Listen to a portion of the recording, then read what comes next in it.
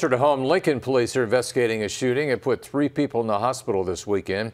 Just before 3 a.m. Sunday, police were called to Portia Street in North Lincoln. Officers found shell casings in the parking lot of an apartment complex. Short time later, two men and a woman showed up at the hospital with gunshot wounds. Their injuries are not considered to be life-threatening. If you have any information about this, you're urged to contact Lincoln Crime Stoppers.